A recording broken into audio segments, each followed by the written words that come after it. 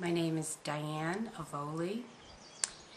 Uh, my husband and I found macrobiotics about 1970, 71.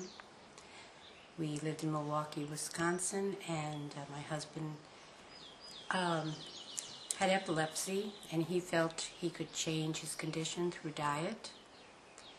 And uh, once we found macrobiotics, we trying to make a long story short, but uh, we moved to New England where we could study with the Kushis and um, started teaching macrobiotics about 1973 because Michio told us we should be teaching.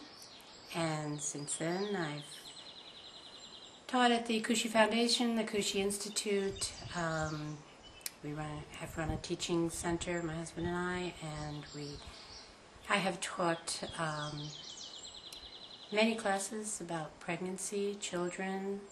Uh, I've helped many women who've wanted to become pregnant. We have eight children and now 14 grandchildren. So we've had many experiences with raising children and made a lot of mistakes ourselves in the early years, which helped us learn. and we wanted to share those stories with other people so that they wouldn't make the same mistakes. Luckily, they were just minor mistakes. Our children survived intact, and we have 14 very healthy grandchildren now. And um, know, what else can I say?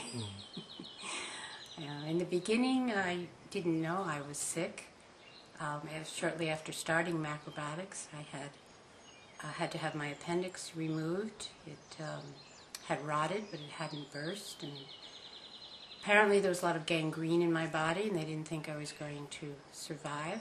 So my husband started sneaking in uh, brown rice and lentils. We'd only had one cooking class at the time, so that's all he knew how to make. And uh, within four weeks, I was totally healed, and the doctors were amazed that I survived.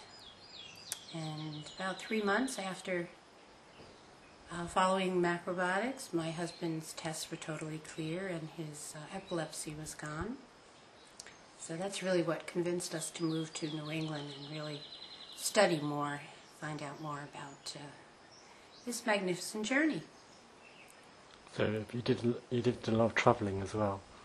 Oh, my teachings, yeah. yes, I've taught um, taught at the KI in Holland, and I've taught around Canada, all around the United States, um, a little bit in Belize and in Australia. Spent three weeks there teaching. Um, but I do a lot of teaching now at the Kushi Institute in the Berkshires, the KI in the Berkshires, and I still do some traveling around the United States teaching and some out of my home. So how's your view of macrobiotics changed? I mean, some people see it as quite a narrow diet or they got ideas about macrobiotics? Oh, no, I don't find it now at all. There, there is no one macrobiotic diet. There's a standard, but that gets changed for each individual person.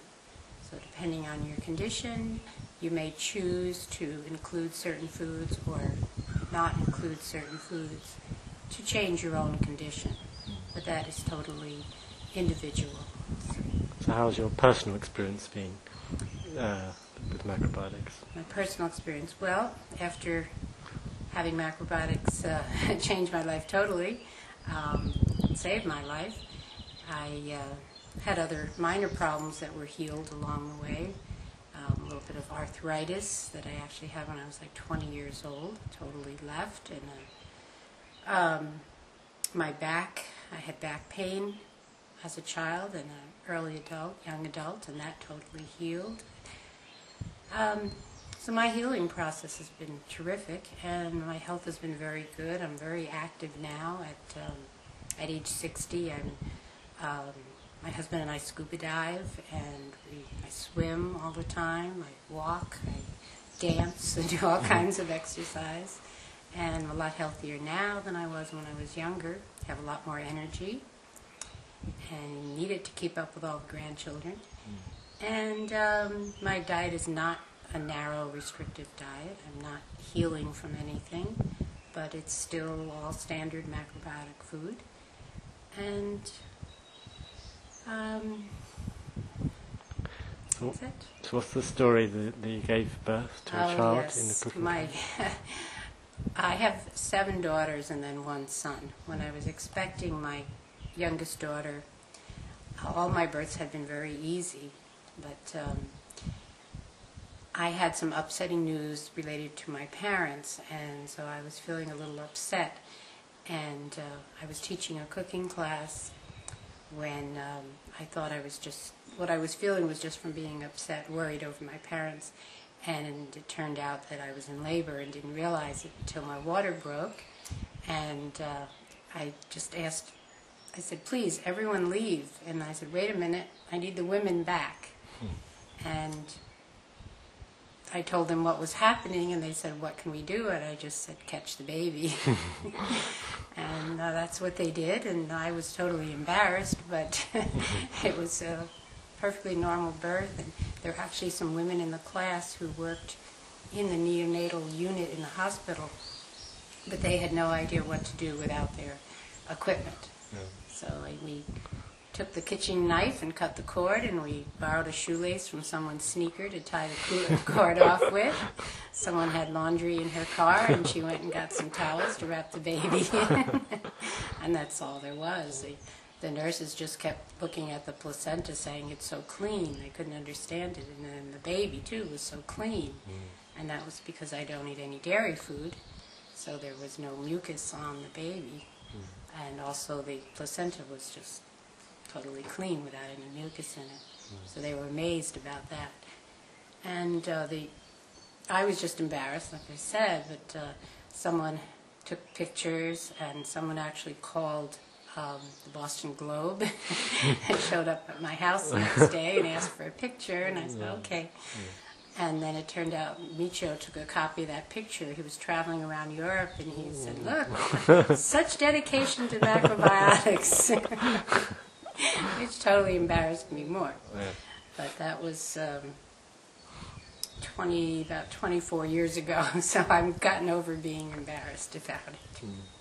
So, what would your advice be to young families, young parents, um, Young start, families. starting macrobiotics? Starting macrobiotics, um, to follow, um, to study so they know what they're doing, to cook good, healthy meals, but not to try to feed their children as if they're sick, unless there is a condition they're trying to change. But in general, children should have a very wide diet with plenty of fats and oils um, because they're little and they need to grow big. Very little salt in their diet, and then gradually that changes as they get older. But uh, they need plenty of desserts and just a wide variety of foods. We're very fortunate now that we have the stores we have. When I started, if you wanted tofu, you had to make it yourself, and if you wanted tempeh, you had to make it yourself. Now you can purchase things so easily. And um, just have fun with your family and get the family involved in what you're doing. So, thank you very much. You're welcome. Um, Thank you. Thank you.